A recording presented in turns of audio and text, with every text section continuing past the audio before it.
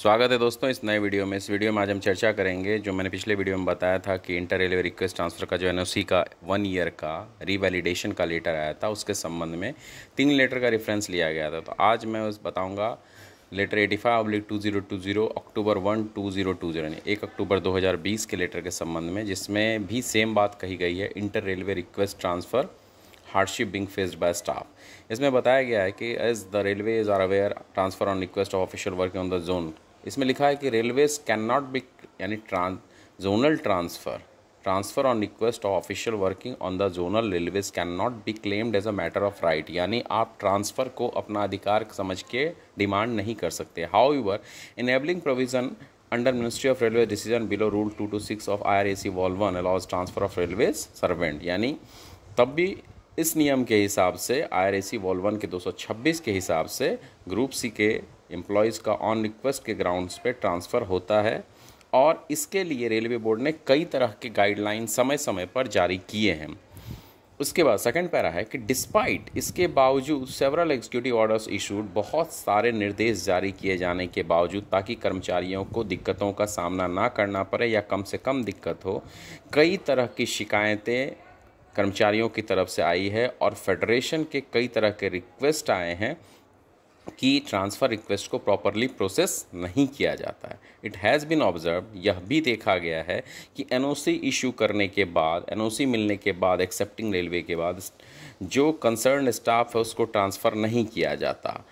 और यह ट्रांसफ़र होने में कई बार एक साल से ज़्यादा लग जाता है एनओसी आने के बावजूद। और तब तक में, जब तक वो रिलीव होता है, तब तक में वहाँ की वैकेंसी फिल हो जाती है। और जब यह ट्रांसफ़र होके जाता है तो उसके बाद वो कहीं का भी नहीं रहता। यानी पेंडुलम की तरफ़ इधर ना इस डिवीज़न का, पेरेंट डिवीज़न का, ना उधर का, ये क्लियर कर now nowhere to go having been relieved by the parent railway तो ये क्लियर कट ऐसा कई बार देखा गया कि आपका यहाँ से ट्रांसफ़र हुआ, वहाँ पे वैकेंसी फुल हो गई तो आपके पसंद का डिवीज़न ना देते हुए आपको ऑप्शन देते कि ठीक है, आप आ गए हो तो चलो ये डिवीज़न आपको दिया जाएगा, चाहिए तो ले लीजिए। और तब उस समय वह डिवीज़न दिया जाता है, जिस डिवीज़न की डिमांड एक्चुअल में सबसे कम रहती है, कोई उस डिवीज़न का भी बंदा नहीं जाना चाहता है।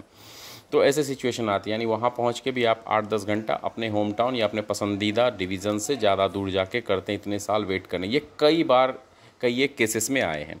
तो तीसरे पैरा में है कि इस मैटर को कंसिडर करते हुए यह डिसाइड किया गया है कि एनओसी जो मिलता है, वो उसे छः महीने के पीरियड के लिए वैलिड किया जाए और अगर ट्रांसफ़र इस दरमियान में उस कर्मचारी का नहीं होता है लिखा है if transfer of the employees concern are not effected within this period the NOC in such cases same बात है कि मैंडेटरी रूप से रिवैलिडेट किया जाए the employee should be relieved on transfer only after reconfirm यानी वैलिडिटी कन्फर्म करने के बाद एनओसी की। ये था एक अक्टूबर 2020 का लेटर जिसके बाद से भी रिलीविंग नहीं हो रहा था।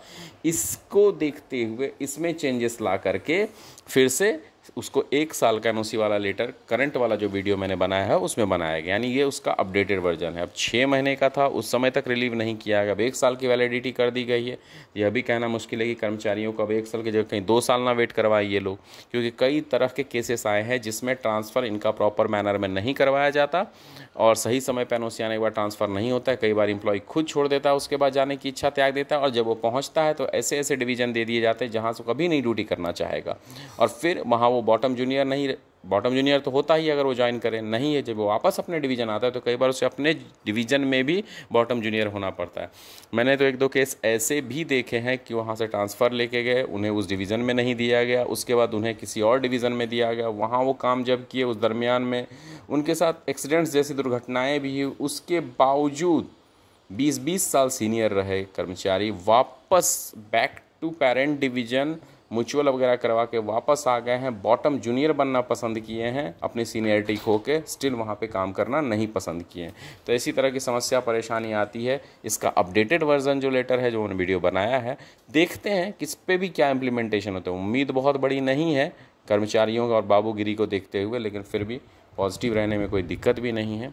तो ये था अपडेट और जो दो लेटर है, उसमें एक म्यूचुअल ट्रांसफ़र के टाइमलाइन के संबंध में है, जो मैंने ऑलरेडी वीडियो बनाया हुआ है, और तीसरा है ऑन रिक्वेस्ट ट्रांसफ़र के टाइमलाइन के संबंध में, जो कल मैं आपको अपडेट करूँगा इस वीडियो के संबंध में। वीडियो अच्छा लगा तो लाइक शेयर सब्सक्राइब भी करिए। धन्यवाद।